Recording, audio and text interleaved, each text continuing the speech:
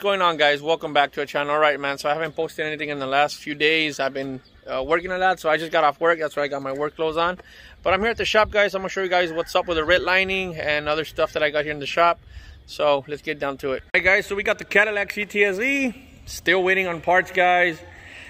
Everything has been paid off since we took the engine out. My brother paid everything. Heads crank pistons everything and nothing yet man everything's being delayed due to the pandemic guys. That's why we still haven't have anything on the car. So the engine's already checked. It went to the machine shop. They checked everything. It's bored out now to what it's going to be because it's going to be a 416 stroker dragon slayer crank all the good stuff man. So this is where the car is at. So we'll see. Once we get everything back in here guys we're going to start working on this one. And here's my r1 we'll get back to this one in a bit guys and here's the red lightning. So this truck's already done guys. Uh, if you guys seen the last videos we did compression test uh, new spark plugs clean the supercharger egr turkey pan uh, boost bypass all that kinds of good stuff you do to a lightning guys.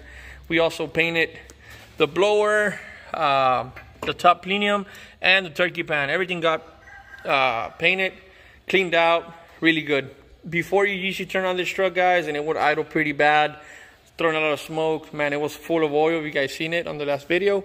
Um, EGR delete also on this one. So you get a cleaner look on the truck. And in my opinion, guys, it's not going to give you horsepower, but it looks way better and you got more room to work on the spark plugs. But on this truck, actually, the compression came out a little bit low on the passenger side pistons guys. So we contacted the owner. I mean the truck idles pretty good. We're gonna turn on it here in a bit. But idles pretty good now. It used to be pretty rough. So we contacted the owner and we told him hey uh, you guys give us permission to go out for, for a little cruise and test it out you know? And we did. She's very low on power. Um, due to that has a little knock on, on, on one of the cylinders. But it already had that whenever we came in came to the shop so transmission has some issues also, guys. Uh, it, it, once the, the, the, transmission gets some temperature, the reverse doesn't want to go in. So that's something with a converter or the transmission or the valve body. Something around that area that's not working good. But we told him the issues, the compression that came out on the cylinders. And he said, you know what, just put it back together, guys. I want to save up some cash and then I'm going to bring it back and you guys can build it. So he's going to go with forged pistons, all the whole, you know, all the good stuff, man. But that's where this truck's at. I'm gonna put a battery on it. We're gonna start it, guys, and let you guys hear it. All right, so we got Mando. Turn it on, Mando.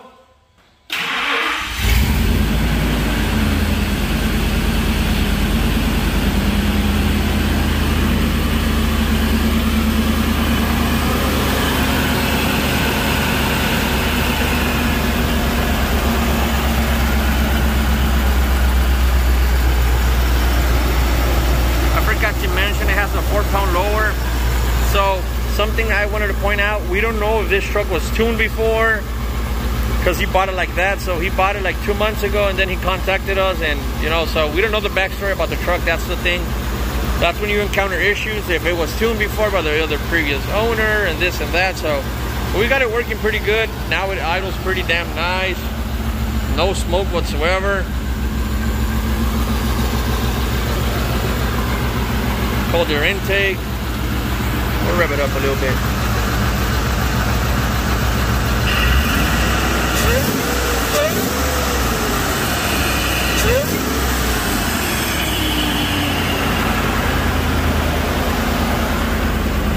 No smoke, so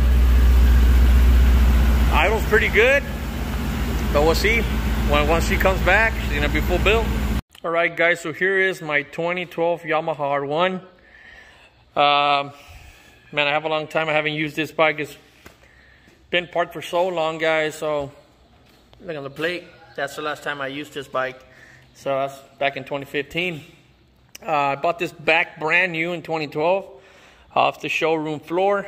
And ever since, I've used it for a couple of, like a while. And then I parked it again. And uh, we used to hang out, a lot of guys, a lot of friends. We'll be out doing uh, racing, wheelies, all kinds of stuff. But, I mean, she's just part guys, and I just wanted to bring her out because I had her on that side of the shop. I was just taking that little spot over there. So I decided to move it to the center of the shop. And I did came out to find out that my oil seals are leaking again. So, I mean, I'm going to have to get these repaired. So I had to put these things here so the oil wouldn't drip all the way down. But my fork seals are pretty bad. See? Look at that oil. I think it's because I don't move it that much, guys. I mean, they dry out. I'm going to try to use a little uh, scalp they use to make them close again. If not, I'm just going to send it in, guys, and we're going to fix them.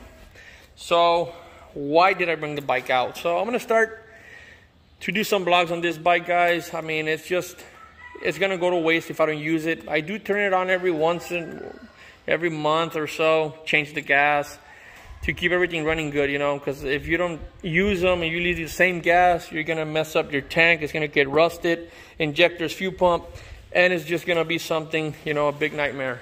It's going to cost a lot of money to bring it back. As it sits, guys, I think it has 6,600 miles, uh, completely bone stock. I'm going to order new tires for it. I'm going to order new brakes. Like I said, we're going to fix the fork seals. But look at the back tires, man. So they've been like that. So we're gonna try to get it going, see if it starts. We'll see, guys. So let's try to start it, guys. 6,897 miles. Cold start.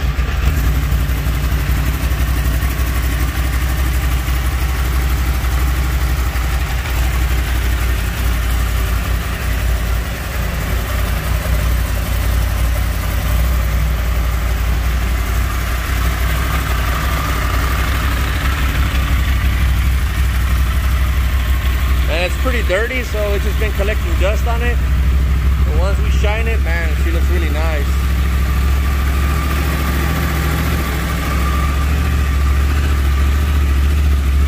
Something I love about these bikes, man, whenever they came with a crossplane crankshaft, it's the sound. It sounds like a V8, man. Um, back then, I used to take off my exhaust whenever I was trying to do some crazy stuff. unhook it from here and just leave the white pipe, man, it sounded amazing, but it doesn't give you performance. It's just gonna mess up your engine. But I just did it just to hear it, how it sounded. But now that I'm gonna bring it back, guys, start doing some vlogs with this, racing, all kinds of stuff. I might get some uh, some aftermarket exhaust for this bike.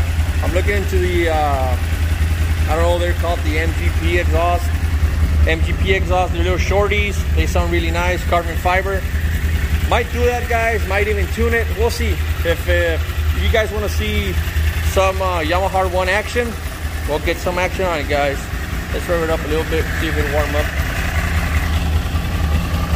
And 147.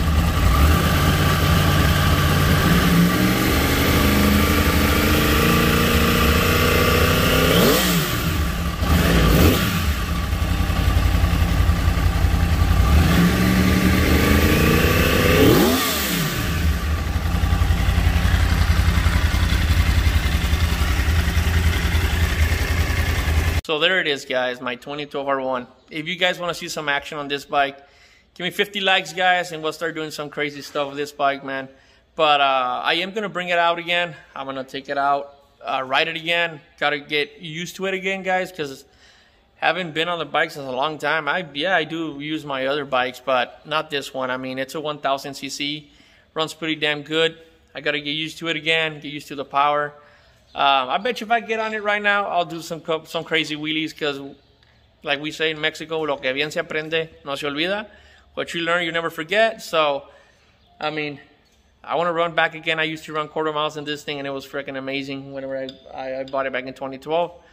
But, I mean, just look at it, man. It's a, it's a Yamaha R1. I taken out some CBRs 1000s with this bike. And some Repsol editions with Yoshimura exhaust power commanders, all that kinds of stuff.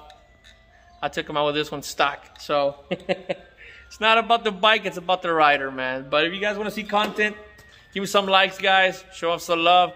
Subscribe to the channel. We got lightnings. We got the Cadillac. We got the motorcycle. We got the lightning in the back.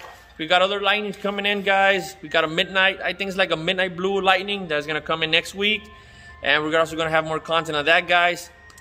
So for now, I want to leave you with this, guys, and see you on the next one.